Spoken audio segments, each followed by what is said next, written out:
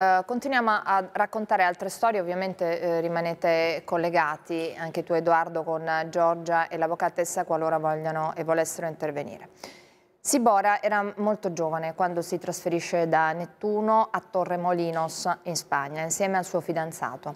Nel 2014 la ragazza sparisce nel nulla. Elisabetta, la mamma, chiede ripetutamente al compagno di aiutarla a trovare la figlia, ma per nove lunghi anni non se ne sa più nulla.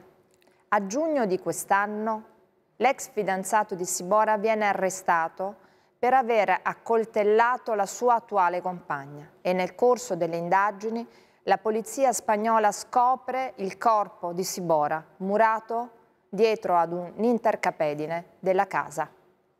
Copertina. Tu per noi in questi anni sei stata la nostra farfalla, irraggiungibile ma sempre dentro di noi. L'ultima volta che avevo visto mia figlia in Italia nel giugno 2014 mi aveva raccontato che Romeo era cambiato, era diventato violento e possessivo e che voleva lasciarlo. Non ho più avuto notizie di mia figlia per nove lunghi anni fine maggio di quest'anno venivo a sapere che Romeo Marco era stato arrestato in Spagna per aver assassinato la sua attuale compagna Paola con 14 coltellate e che al commissario spagnolo avesse dichiarato di aver ucciso e murato mia figlia Sibora nella casa in cui abitavano nel 2014 per poi ritrattare tutto. La polizia spagnola aveva rinvenuto un cadavere in un intercapedine del muro. Era mia figlia.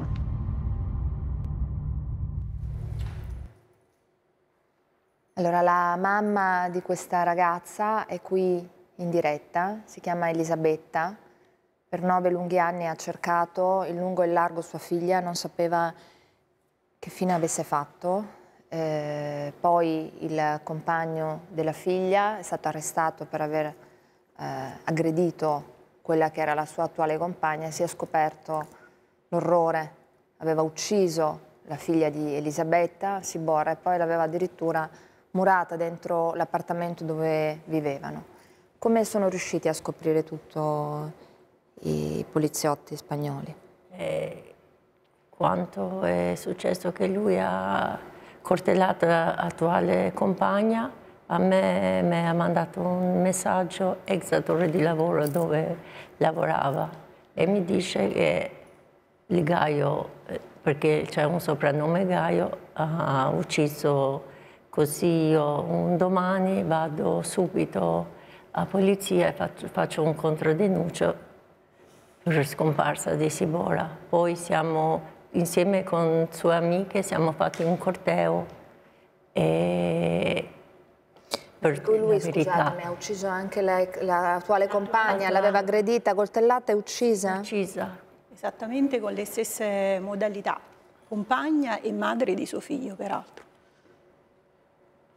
Mette in atto sempre lo stesso schema omicidiario, le colpisce alle spalle con delle coltellate anche lei voleva lasciarlo come, come si bora. anche lei. E quindi Perché? segue un copione preciso evidentemente. Quando è scomparsa Sibora, voi avevate fatto denuncia di scomparsa sì. alla polizia spagnola e anche a quella italiana? A quella italiana e a quella spagnola pare che l'avesse fatta lui così no. diceva, però poi non se ne sono mai rinvenute le tracce, ma la mamma l'ha fatta sia in Italia che in Spagna. Eh. Sappiamo che la polizia è intervenuta per ben tre volte in quella casa, quindi diciamo che è un tipico caso di scomparsa a chilometro zero, non era andata poi tanto lontano. Probabilmente non potevano pensare che ci potesse essere un intercapedine nel muro e infatti dopo che lui non ha propriamente confessato quando lo hanno arrestato per eh, l'omicidio della, della compagna Paola. In realtà lui se l'è lasciato scappare, lui è entrato in commissariato e si è trovato di fronte alla bacheca con le persone scomparse in cui eh, tra cui c'era diciamo, l'immagine di Sibora. E ha sussurrato ai poliziotti che lo accompagnavano, eh, gli ha detto anche lei io ho ucciso, però lei l'ho messa nel muro. Quando poi nell'espletamento di tutte le formalità gli hanno rifatto la domanda, ovviamente lui ha ritrattato. Ma la polizia a quel punto ha, diciamo, affinato le ricerche con una tecnologia abbastanza avanzata, insomma con una sorta di, di raggi X, hanno eh, verificato che ci fossero o meno delle tracce eh, diciamo, particolari anche all'interno della casa e quindi hanno rinvenuto questa intercapedine in cui si notava qualcosa al di là della parete e quindi poi hanno scoperto che c'era il suo cadavere sistemato anche in una maniera abbastanza macabra. Elisabetta, ti aveva mai parlato tua figlia di questo ragazzo, di quest'uomo? Sì, lei a me mi ha parlato, ma non mi ha detto tanto che lui la trattava male. A sua amica sì, e ha confessato che lui la menava e la minacciava. Ma sua amica non ha avuto mai coraggio di dire mm. la verità, ha detto solo dopo nove anni. E a me mi disse... Per cui tu quando gli volta, chiedevi dov'è mia figlia, tu non ti fidavi di lui, tu eh, avevi capito che era stato lui, a... lui, Però io non pensavo che era una cosa fatta con... Eh, che lui ha pensato, pensava a un incidente. E io, io, ho pregato, lui è venuto anche a casa mia dopo tre mesi che Polizia Spagnola ha tenuto non uscire da Spagna. Quando sei ritornato, se veniva tutti i giorni e io gli facevo un caffè, o assassino di mia figlia, la vedeva agli occhi e diceva sempre Gaio, dimmi la verità, non è che è successo qualche incidente? un schiaffo, sei caduta male. No, Elisabetta no, mi vedeva proprio agli occhi e mi diceva no, non è vero. Falso. Falso fino, fino, fino all'ultimo. Fino all'ultimo. Infatti quel giorno che ho visto il video quando ha ammazzato quell'altra povera ragazza, ho detto eccolo, mia figlia non ci sta più. Eh, le posso fare una domanda, avvocatessa? In entrambi i casi, sia nel caso della figlia della signora eh, Elisabetta e sia in Paola, mi sembra Paola, di capire, sì. quest'altra vittima no, che c'è stata, in entrambi i casi erano, le, le, donne lo stavano lasciando o lo avevano eh, lasciato? L'avevano già lasciato. L'avevano già lasciato, sempre perché era violento. Probabilmente sì, sempre per la sua condotta violenta, ossessiva. Ecco. Allora vorrei rimanere su questo, su questo, particolare, su questo dettaglio, su questo dato. Eh, Carlotta Ricci collegata con noi. Eh, Filippo ha ucciso Giulia. Giulia lo aveva lasciato. Eh, Giulia doveva laurearsi e credo un giorno dopo, due giorni dopo andarsene addirittura da Vigonovo. Doveva andare in Emilia, è Reggio Emilia, eh, per affrontare no, quello che era il suo futuro, una, la sua vita, la sua carriera. Carlotta, rimaniamo su questo dato e su questo voglio ragionare oggi e riflettere. Su questo, l'uomo che viene lasciato e che non accetta, non accetta di essere lasciato. A te Carlotta. Questo della laurea, questo che citavi, è stato un elemento molto ponderato, soprattutto nei giorni in cui ci si chiedeva che fine avessero fatto, nei giorni in cui la famiglia lanciava gli appelli e ci ha detto una mattina il papà di Giulia, una mattina come tanti in cui ha portato fuori a passeggio il cane eh, prima delle 8 di mattina, è una delle tante cose a cui si pensa. Pro probabilmente, forse per Filippo rappresentava veramente uno spartiacque, cioè poteva rappresentare l'inizio dell'allontanamento definitivo da lui, di Giulia, che se ne andava verso il suo futuro. Lei avrebbe voluto frequentare un corso di fumetto a Reggio Emilia. Sul suo profilo social eh, ci sono i fumetti che disegnava Giulia e, um, questa mattina sui quotidiani c'era anche un'intervista alla sua professoressa che elogiava il suo tratto eh, molto fresco, era quasi uno stile un po' fumettistico. Comunque eh, Giulia era sicura di quello che voleva fare nel suo futuro. A Filippo mancavano ancora tre esami, quindi non tantissimo. Poi si sarebbe laureato anche lui in ingegnerie biomediche alla stessa università, dove tra l'altro si erano conosciuti all'Università di Padova. Però chissà che veramente non abbia avuto timore proprio di questa giornata che appunto poteva essere lo spartiacque definitivo del loro allontanamento. Fisico, diciamo, non solo eh, amoroso, sentimentale, relazionale che già c'era stato, non dimentichiamo, già c'era stato, ma anche proprio di, di, presen di presenza fisica eh, nel, nel, paese dove loro vivevano, nel piccolo paese dove eh, Giulia viveva. Eh, ecco, su questo dato, come dicevo prima, vorrei soffermarmi. L'uomo viene lasciato, l'uomo non accetta il no, L'uomo non accetta la libertà della donna, l'uomo uccide. Allora, su questo fatto, spesso e volentieri, nei processi giocano le perizie psichiatriche. Attenzione, attenzione, perché questo invece è un fatto che ha una matrice culturale, anzi una sottocultura del possesso e del controllo della donna e questo elemento non può essere negato. Catizzone.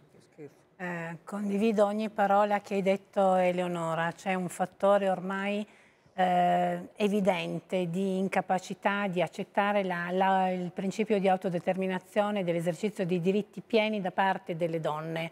Eh, e questo diciamo è un fattore ormai e fa impressione che sia ancora evidente in ragazzi giovani di 22 anni come, eh, come il caso eh, di cui si sta parlando oggi. Oggi siamo, eh, andiamo sugli altri pianeti, eh, visitiamo, eppure ancora il concetto di eh, supremazia dell'uomo nei confronti della donna è evidente ed è evidente nella vita di tutti i giorni, nella, nel linguaggio, nei comportamenti, nella quotidianità. Ecco, ciascuno di noi deve interrogarsi su quali sono le, le proprie convinzioni rispetto all'idea che ha della relazione dell'altra persona e si fa questo cambiamento quotidianamente, non bisogna delegare qualcuno, non bisogna delegare solo le famiglie, non bisogna delegare solo la scuola, non bisogna delegare solo le istituzioni, siamo tutti tu e tutti e Anna. tutte parte di questo processo, Anna di questo Bagli. cambiamento. La cosa che più emerge, come sottolineavi Eleonora, è che quando un uomo viene lasciato decide di cancellare e di eliminare una persona. Nel caso di Giulia è stato fatto proprio all'alba di un traguardo importante. Siccome lui, oltre a perdere lei, aveva perso anche terreno nell'ambito professionale universitario, allora ha deciso che l'unica soluzione per sopravvivere emotivamente era quella di eliminarla e qui dobbiamo lavorare. È vero che non si può relegare a un'unica istituzione, alla famiglia, alla scuola, ma intanto anche le madri dei figli maschi hanno un ruolo fondamentale in questo contesto perché bisogna spiegare che la violenza... I padri. I padri. Anche. Nasce esattamente quando si vuole prevaricare l'altro. Eh? La, bisogna insegnare che la violenza nasce quando si vuole prevaricare l'altro.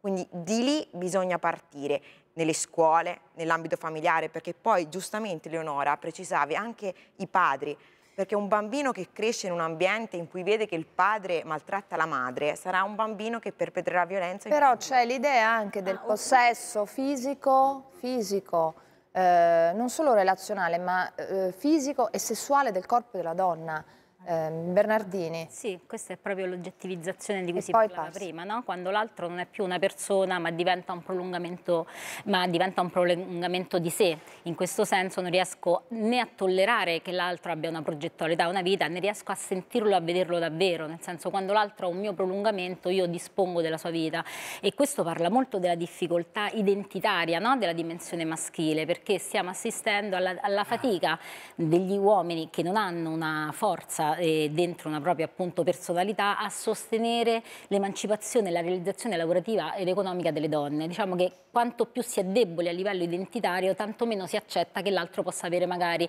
dei successi e dei traguardi. Noi purtroppo al Telefono Rosa eh, vediamo continuamente storie di, di questo genere dove il momento culminante della violenza può essere appunto la, la, fine della relazione, il paventare la fine della, della relazione, ma non, non dimentichiamoci un altro momento critico è la nascita dei figli, perché anche quello è un momento che mette in seria no, discussione l'identità mm -hmm. dell'uomo in termini di eh, ruolo che ha nel rapporto di coppia. Ecco, allora, eh, Parsi si vuole intervenire, poi sentiamo un altro che c'è una storia da raccontare. Si smaschera la fragilità maschile il rapporto tra l'origine della vita, le donne danno vita alle forme della vita, sono il laboratorio di vita col seme dell'uomo. La dipendenza però inizia appena nasci, no? E devi essere curato, alimentato e poi piano piano piano conquistare l'indipendenza. Ma il rapporto con la figura femminile è determinante per le donne come per gli uomini. Per gli uomini la fragilità non è riconosciuta, la trasformano in onnipotenza e controllo della donna. È ora di finirla. È ora di finirla. Allora, fatemi raccontare questo.